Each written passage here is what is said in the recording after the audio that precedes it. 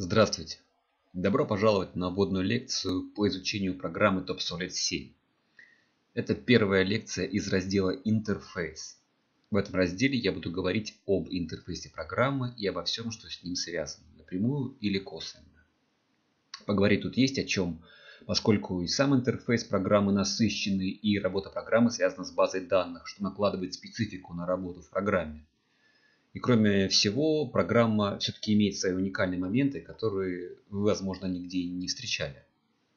Что касается общей методики моих лекций, то я буду говорить от общего к частному и не буду говорить о тех вещах, о которых сам не знаю.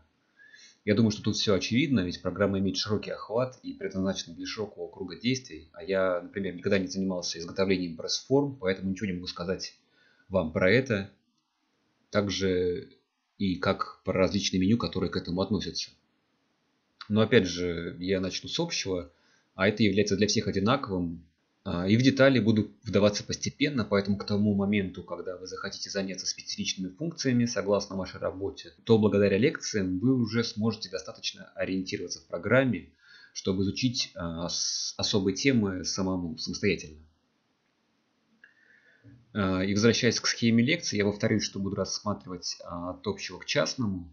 И тем не менее говорить, что на некоторые вещи будет откладываться отпечаток моего личного опыта использования этой программы с той точки зрения, что как э, я пришел к какому-то определенному виду, который мне показался удобным. Но это при этом не означает, что программой можно пользоваться только таким образом. Вполне возможно, что вы увидите более выгодные для себя методы работы – Моя задача показать вам все возможности этой программы, а ваша задача решить, что для вас лучше. Итак, начнем. Обратимся к программе. Снова перед нами интерфейс, как при первой загрузке TopSolid. И снова мы видим в центре а, окно создания нового проекта. Это окно появляется потому, что в вашей базе данных сейчас нет ни одного проекта, а проводить какую-то работу можно только в проектах. Но об этом чуть позже, а сейчас я первым делом хочу обратить ваше внимание, что интерфейс русифицирован.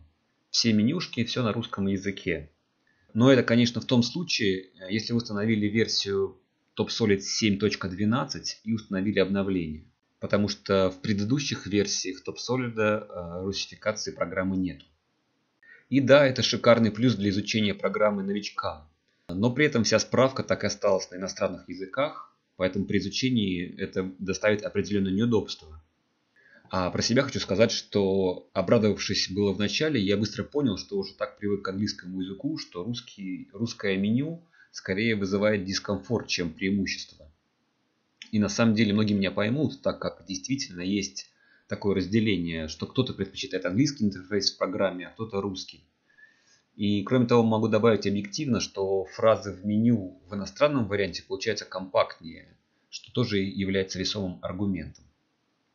И, в общем, поскольку я являюсь приверженцем английского интерфейса, то я переключусь на него. А, но для тех, кто предпочитает все-таки русский интерфейс, не стоит расстраиваться, ведь каждое меню, каждая команда в TopSolid, кроме текста, дублируется своим уникальным значком. Поэтому найти нужное меню будет совсем несложно. Более того, со временем в принципе начнете ориентироваться на значки. Ну и также в лекциях я буду стараться дублировать название команд на русском языке, чтобы было понятно. Э, таким образом, первое, что я покажу вам, это как переключать язык интерфейса. Закроем текущее окно проекта. И в э, правом верхнем углу увидим иконку значка вопроса. Это одно из э, командных меню программы, это меню доступно всегда и в любом режиме, то есть к нему э, доступ имеется всегда. В этом меню доступны все справочные материалы по TopSolid. Также вы можете запустить программу обновления.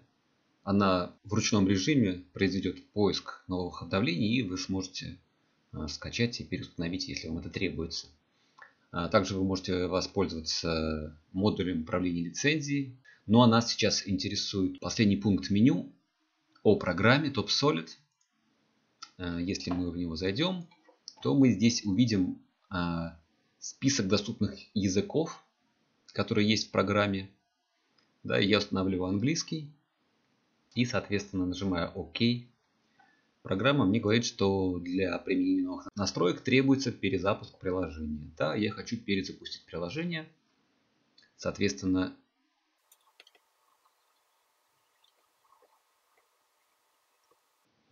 Итак, мы перезапустили TopSolid. И мы видим, что э, теперь TopSolid э, имеет интерфейс на английском языке. Итак, теперь мы наконец переходим непосредственно к изучению интерфейса. Э, глобально интерфейс TopSolid можно разделить на две части. Верхняя командная панель вверху, в верхней части программы и э, всю остальную нижнюю часть э, можно назвать рабочей зоной. Командная панель, она всегда присутствует на этом месте. Сейчас она содержит две вкладки Home то есть домашние, и Tools, то есть инструменты. Эти две вкладки всегда будут присутствовать в интерфейсе, независимо от э, режима. Одна, то есть Home, всегда будет в начале, а Tools, то есть инструменты, эта панель будет всегда в конце. Другие вкладки будут появляться в зависимости от режима работы программы. Э, самый популярный пример тут смены режимов это работа в модели или работа в чертеже. Рабочая зона – это полностью перестраиваемое поле. Здесь э, могут и будут содержаться элементы интерфейса, viewport, окна проекта и тому подобное. Давайте закроем окно нового проекта и посмотрим, что мы сейчас видим. Э, основное место занимает стартовая страница, Start Page.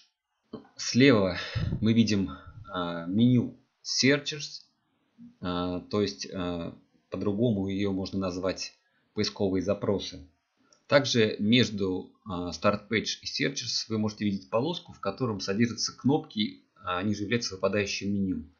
Entities, Operations и Parts. Сейчас э, эти менюшки пустые, но к ним мы вернемся позже. Сейчас давайте э, вернемся к стартовой странице. Это э, классический документ для многих программ, он содержит, э, так скажем, классические элементы для данного окна. Э, блок э, создания новых документов, блок текущих последних проектов. Здесь блок помощи, да, всякой help, туторы, туторы и тому подобное. И окно последних открытых документов. Здесь в правом нижнем углу мы можем поменять цветовую схему программы. Нам предлагаются стандартные схемы, и э, вы можете воспользоваться какой-нибудь из них. Соответственно, на ваш вкус. Но на самом деле, э, я считаю, что эта страница пережиток прошлого. Пользоваться ей неудобно, и поскольку я буду говорить о своем опыте работы, то я предлагаю вам отключить эту страницу, поскольку я ей не пользуюсь. И думаю, что вам э, в ней тоже не будет никаких преимуществ. Поэтому мы просто уберем эту галочку, которая открывает эту страницу каждый раз при запуске. И закрываем страницу. Что касается страницы поисковых запросов. Это как раз э, интересная и полезная панель. Она позволяет создавать и выполнять поиск по вашей базе данных. Это можно назвать каким-то аналогом поисковика в проводнике Windows. Но тут вы можете создавать очень различные специфичные запросы по имени, по типу, по параметрам, по их комбинации – и при этом сам э, запрос можно сохранить в виде документа. И все, что вам надо будет, это кликнуть по запросу, и его результаты отобразятся в окне. Э, все это вам упрощает и облегчает жизнь, когда в базе будет много проектов, много документов, и тогда поиск нужных компонентов, э, эта панель превратится в банальный клик, то есть все будет быстро, просто при помощи запросов. А вот сейчас конкретно эта панель не понадобится, потому что у нас база данных, можно сказать, пустая. Поэтому на данный момент мы эту панель тоже закроем. Э, дальше у нас остались э, три всплывающих окна Entities Operations and Parts. Entities объекты, Operations операции, Parts это детали. Давайте сейчас закроем их тоже. И вот в результате наша рабочая зона стала пустой. Хотя нет, а внизу мы можем увидеть кнопку Search Result, которая тоже открывает менюшку. Это всплывающая менюшка. Как можно понять по названию, это результаты поиска. Она как раз отображает результаты поиска работы э, окна поисковых запросов. Давайте мы его тоже закроем. Э, если мы его закроем, то мы увидим, что у нас э, в серединке остался маленький такой прямоугольничек, ярлычок. И слева посерединке мы тоже можем увидеть такой же элемент. Эти элементы на самом деле это типовые ярлычки для всех панелей управления, которые вписаны в окно программы. Но вот именно эти два ярлычка являются именными. А, то есть если мы наведем, а, во-первых, на такой ярлычок, мы видим, что у нас меняется значок мышки. А если мы кликнем по нему, то а, мы видим, что у нас появилось окно Search Result. Соответственно, этот ярлычок да, позволяет конкретно отображать меню панельки Search Result. Если мы снова ткнем на этот ярлычок, то панель снова закроется уже без кнопки. То есть это такой компактный вариант отображения э, панели Search Result. Если мы кликнем по ярлычку слева, то в рабочей зоне появится сразу три окна. Вы можете видеть, что это те самые окна, которые мы закрыли недавно. И вторым кликом, соответственно, по ярлыку эти панели закрываются обратно этими ярлыками создатели TopSolid как бы намекают нам, что вот для этих панелей вот это место является наиболее оптимальным при работе. И тут я с ними соглашусь, потому что это действительно максимально а, оптимальное место. Хотя конечный вид я для себя все-таки выбрал не такой, а, как а, в классическом виде предлагает конфигурация TopSolid. В конечном итоге я приведу интерфейс к тому виду, к которому я привык работать. Итак, сейчас у нас закрыты все панели. Некоторые из них мы можем открывать при помощи ярлыков. Но, опять же, вопрос, где можно увидеть все панели, которые возможно а, открыть в рабочей зоне. И, естественно, такое меню есть. Давайте вспомним, что у нас есть командное меню в левом верхнем углу программы. Оно имеет э, три подменю, и давайте мы как раз его, это меню изучим. Меню PDM нам уже знакомо, мы встречались с ним в уроке по изучению а, основ по базе данных. Дальше у нас есть э, подменю файл. Это тоже классическое меню. Здесь мы видим группу создания документов, группу а, управления проектами, библиотеками, группу управления шаблонами и группу импорта-экспорта. Соответственно. И у нас есть меню View, которое можно в принципе назвать как меню окна.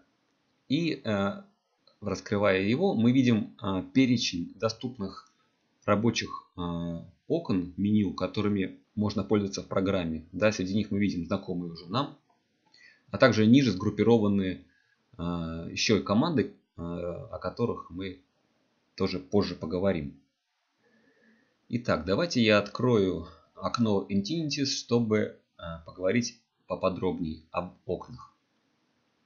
А, вот так вот выглядит окно, когда мы его открыли. Это состояние окна а, называется зафиксированный встроенный вид. Сейчас, если мы а, скроем его при помощи ярлычка, а потом отобразим снова, то мы увидим, что показывается только одно это окно, а не все три, как было в предыдущем примере. Это потому, что TopSolid запомнил, какое и сколько окон у меня было открыто, до того, когда я щелкнул по ярлычку. То есть ярлык скрывает и закрывает мой настроенный вид а, а, положения окон. То есть здесь может быть э, какая-то э, заданная мной конфигурация окон, и этот ярлык позволяет э, все это быстро скрывать и отображать. Для того, чтобы расширить экран viewport, допустим. Присмотримся к этому окну. Справа в шапке у него две метки, крестик и заколка. Крестик, понятно, закрывает окно, а заколка позволяет управлять э, его отображением. Сейчас, в данный момент, э, оно находится в положении закреплено, поэтому э, данное окно называется, вид данного окна называется зафиксированный встроенный вид. И сейчас как раз у нас заколка зафиксирована.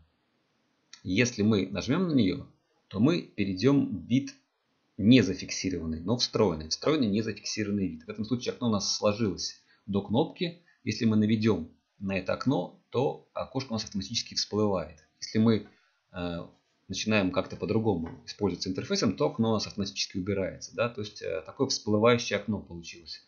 Мы можем нажать на кнопки, либо удерживать ее, и у нас появляется это окно. Соответственно, если мы откроем э, еще одну панель и тоже перейдем ее в плавающий, то мы видим, что у нас появляются две кнопки, да, и мы можем попеременно э, пользоваться, нажимая на кнопки, да, или просто наводя на них, активизировать эти окна. Понятно, что такой режим работы основан на том, чтобы максимизировать viewport, да, когда вам не нужны панели, они скрываются, и вы можете использовать это место для моделирования или черчения. Давайте снова откроем панельку и переведем ее в зафиксированный вид. Теперь давайте возьмем за шапку и потащим ее в центр. Смотрите, когда мы перемещаем э, панель в зажатом состоянии, то мы видим, что превью э, показывает нам, как располагается окно, как может располагаться окно. То есть, кроме его состояния справа, мы можем э, переместить его в состояние вверх, да, мы можем переместить его в состояние справа или вниз. Да, то есть оно фиксируется к какому-то краю экрана. Но это не конкретно это окно. Так может работать любое. Это, это просто механика, типовая механика работы данного окна. И, соответственно, она э, позволяет нам, как это, как и все остальные окна, позиционировать так, как нам это удобно, соответственно. Также эта панель а, может иметь а, плавающий вид. Плавающий вид а, достигается, если мы потащим в центр экрана и у нас нет а, иконки прилипания да, в превью. Отпустив его, мы превращаем наш, а, наше окошко в такой плавающий вид. Соответственно, да, мы можем все окна перевести в плавающий вид. А, в чем преимущество таких окон? Да? А, в том, что а, это преимущество, так скажем, активизируется при использовании нескольких мониторов. То есть, если у вас есть второй монитор, эти плавающие меню вы можете расположить извне программы, да, то есть вы можете вот так вот их расположить отдельно, да, где-то здесь, как нужно отмасштабировать, поскольку эти окна позволяют масштабировать их, э, да, как обычно классическое окно Windows. И вы можете использовать его на, на втором мониторе. Вы можете использовать любое количество окон, да, таким образом не э, засоряя пространство, допустим, используя основное пространство программы под viewport. Да? Ну, здесь очевидные вещи. Итак, если э, у вас много мониторов, вы можете воспользоваться вот такими, таким типом окна. Давайте снова перейдем к пространству с работы с одним монитором. И э, у панелей есть еще одна возможность э, местоположения. Их можно комбинировать. Давайте я прилеплю первое окно к левому краю программы. Второе окно, когда я навожу поверх первого, то мы видим, что у нас опять же появляется превью. И если я перемещаю э, курсор к краям этого окна первого, то мы видим, что у нас изменяется превьюшка, и это означает, что мы можем, соответственно, таким образом располагать окна. То есть вот в данном случае я могу расположить их в положении лево-право. Соответственно, да, могу причем я могу управлять этим положением, да, я могу по а, понимать, куда я хочу, справа или слева конкретное окно расположить. Также я могу расположить вверх или вниз. В этом случае окно раздваивается по горизонтали, будет верхнее и нижнее окно. Да, таким образом, э, опять же, я могу э, настраивать вид окон так, как мне захочется.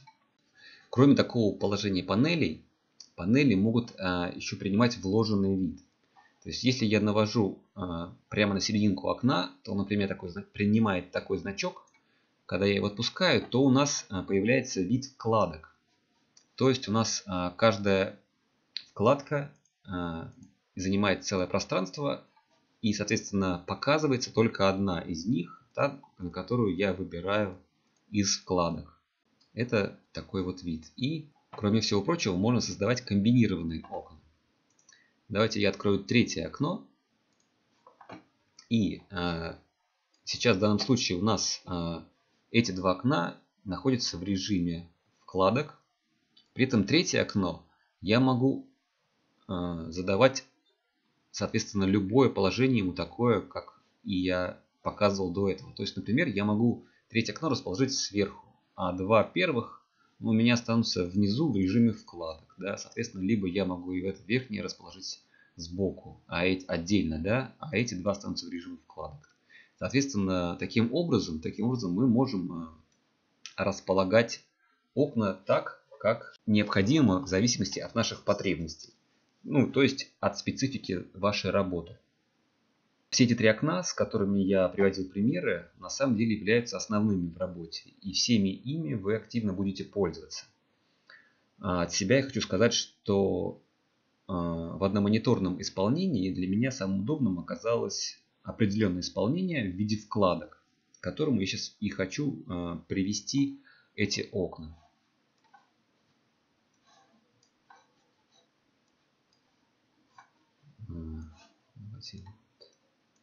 Так.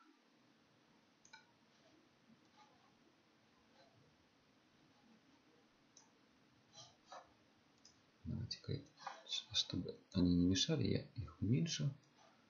Для того, чтобы привести к нужному виду, я сначала делаю их всех плавающими в вертикальном исполнении. И затем просто последовательно группирую по вкладкам. Вот. Таким образом я получаю э, три вкладки и для меня это является оптимальный вариант, в котором я и буду проводить а, дальнейшие уроки. На этом данный урок я заканчиваю. А в следующем уроке мы продолжим изучать интерфейс и поговорим о создании проектов, о менеджере проектов и об окнах проектов. Спасибо за внимание. Я жду вас на следующей лекции.